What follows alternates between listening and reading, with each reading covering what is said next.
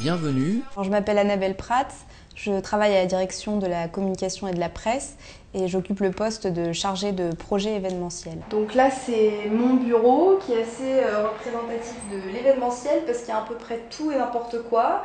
Des vieilles affiches, euh, bandeaux pupitres, ça donne des idées aussi pour la suite donc euh, j'aime bien décorer avec ça. Avant d'entrer au Quai d'Orsay, j'ai fait des études à Sciences Po Paris en relations internationales et sciences politiques, avec un intérêt plus particulier pour la région euh, asiatique. Quand j'ai terminé mes études, je me suis renseignée sur euh, les différentes euh, manières d'entrer au ministère des Affaires étrangères et j'ai regardé les différents concours qui étaient disponibles et celui de, catégorie B m'a particulièrement intéressée. Une fois que, que j'ai été euh, acceptée euh, au concours du, Quai d'Orsay, on nous a présenté durant le stage d'intégration tous les panels de métiers que les, les agents de catégorie B peuvent, euh, peuvent exercer et c'est extrêmement varié.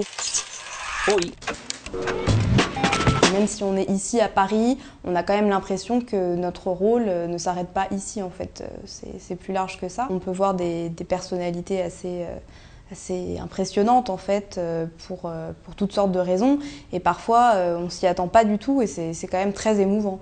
Par exemple j'ai eu l'occasion de voir Oksan Sushi qui venait parler de la situation en Birmanie, voir plusieurs fois voilà John Kerry qui vient faire une déclaration avec le ministre sur, euh, sur la Syrie, ce sont quand même des moments forts et, et importants dans, dans l'actualité internationale. Mon événement préféré, en fait, ce sont les journées du patrimoine. Quand l'événement a lieu, c'est vraiment toujours un week-end euh, vraiment, vraiment très, très sympa, voire magique, parce que les, les gens sont là, posent des questions, sont intéressés. Les animations interactives qu'on a préparées, on s'est cassé la tête pour trouver le truc qui plaira, euh, marchent bien et finalement, c'est vraiment un, un moment que, que j'aime beaucoup.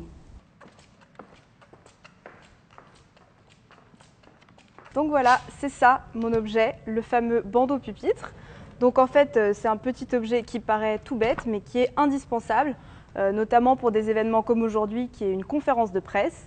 Donc on a le logo du ministère, toujours euh, indispensable pour identifier qui organise l'événement, le nom de l'événement en question, donc aujourd'hui le Conseil de promotion du tourisme, le lieu et la date, qui permettra à toute la presse présente euh, photographes, vidéastes, d'identifier tout de suite euh, de quel événement on parle.